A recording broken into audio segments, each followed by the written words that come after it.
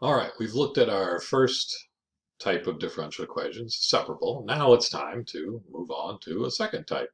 This is called first order linear differential equations. Now there's one thing I want to get out of the way before we get started. This textbook switches back and forth between using x as its independent variable and t as its independent variable. Depends on which chapter you're in or which section within the chapter as to which one they use as the independent variable. Likewise, I kind of forget which one I'm using from time to time. Sometimes I use x, sometimes I use t.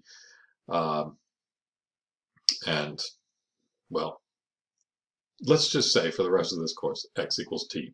All right? We got it. Good. Got that out of the way. x equals t. Now, linear. Recall, what is a linear function?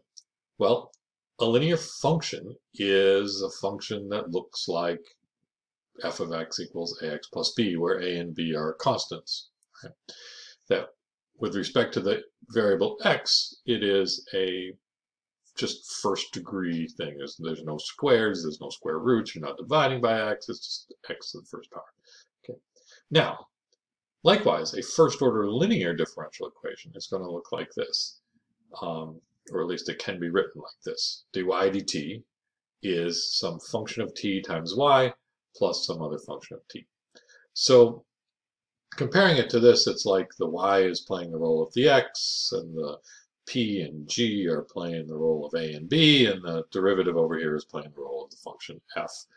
Um, the way I see this is with respect to y and y prime, this is a linear equation.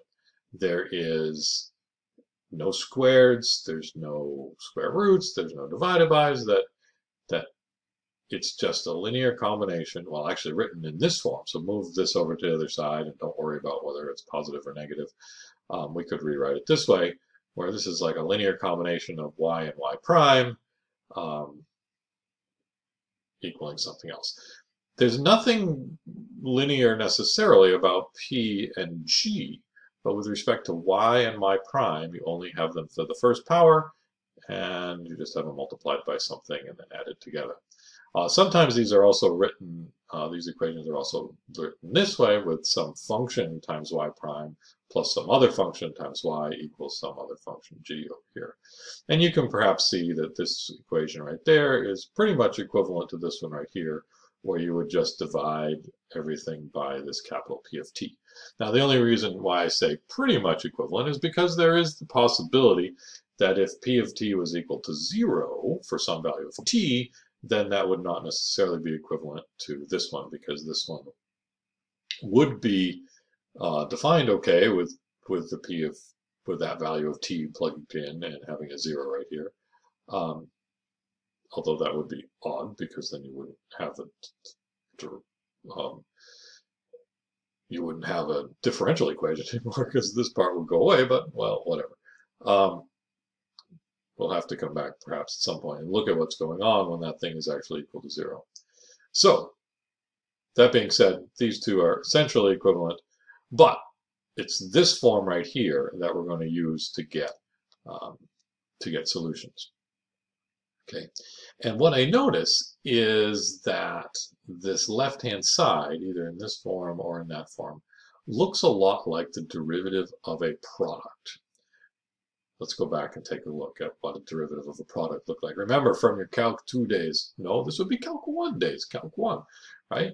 That um, the derivative of y times a function, if y is a function of t and f is a function of t, you got a product of the function, two functions, uh, and you use the product rule. So it's f times the derivative of y plus y times the derivative of f.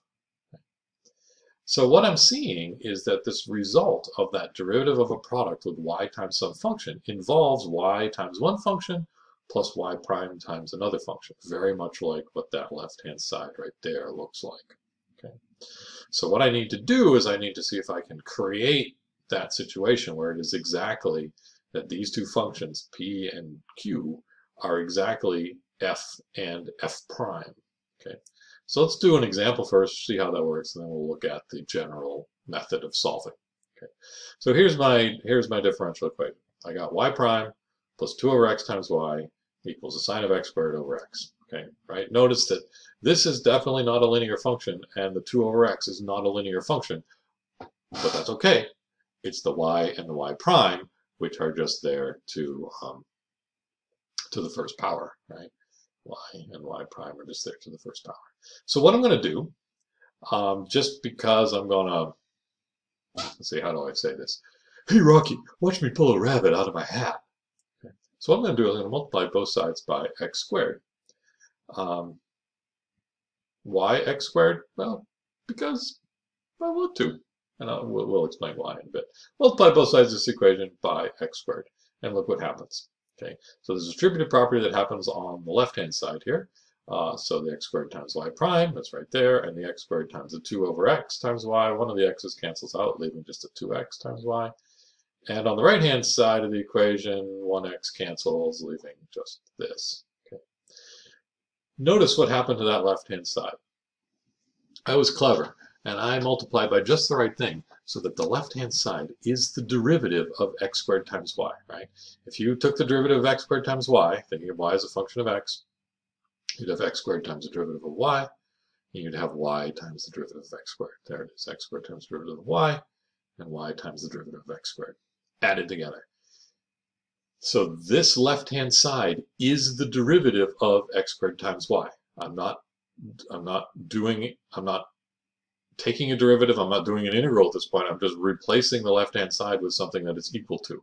So the right-hand side is staying the same.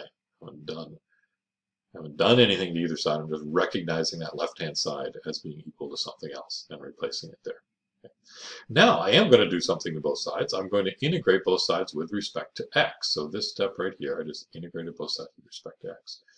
And the crazy thing is, what is the derivative?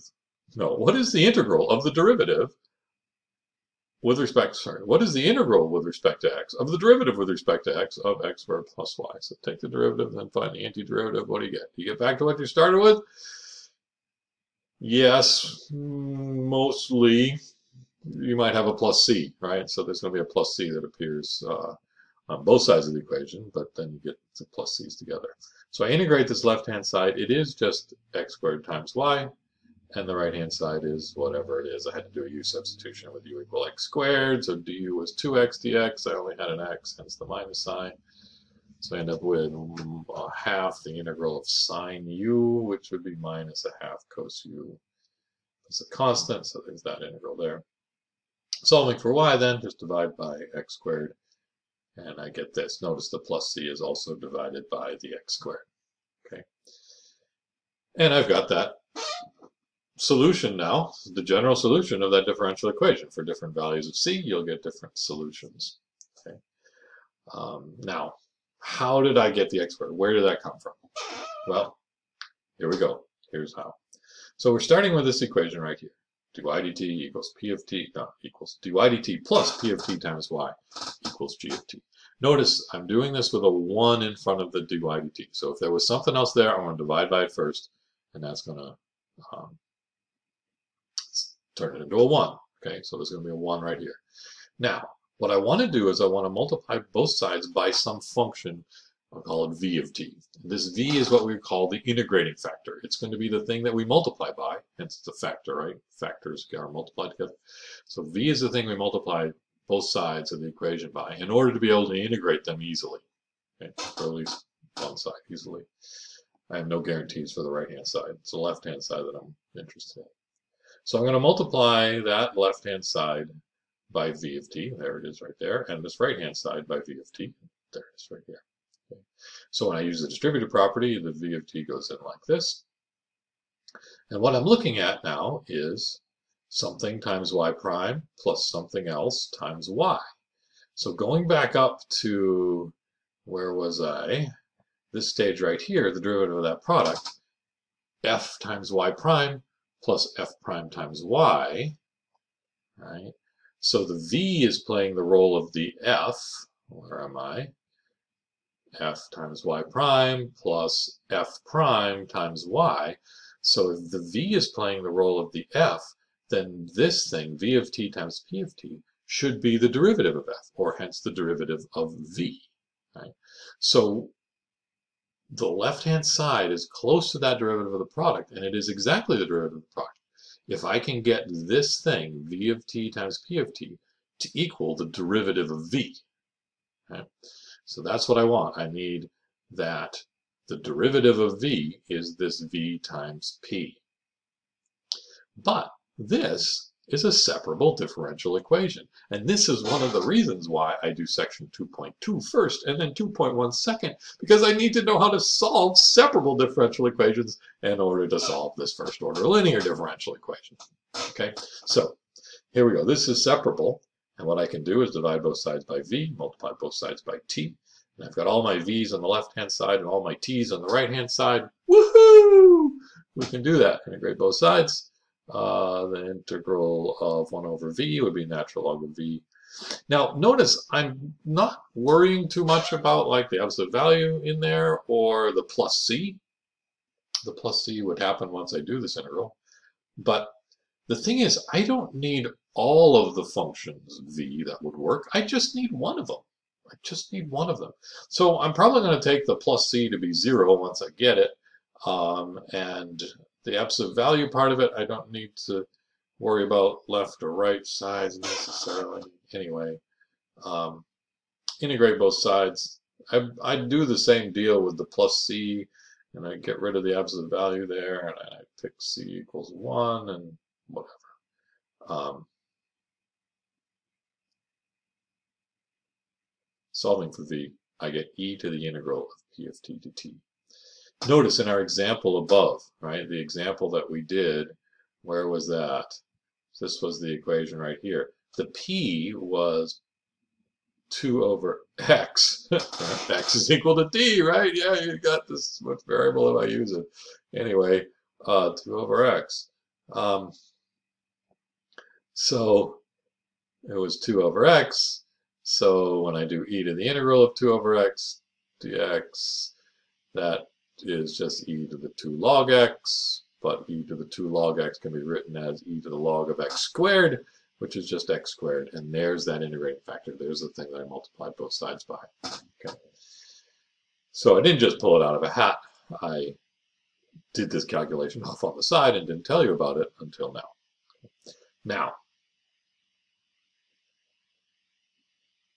plug this back in.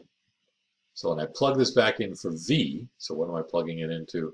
I'm plugging it back into this equation right here. So the V is being plugged back in there, there, and there. It's in there three times. Okay.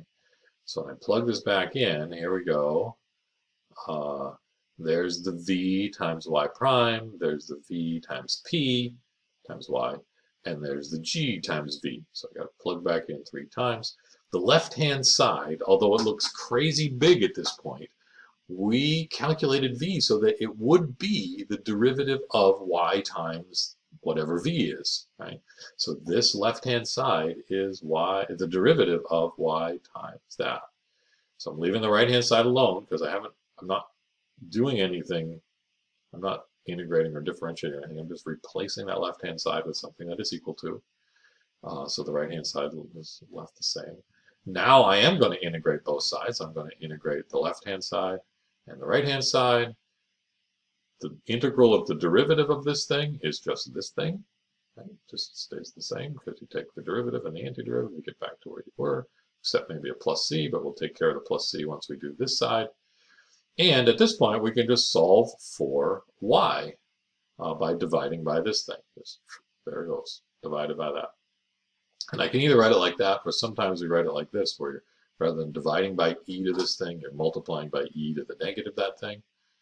Um, either way. Right?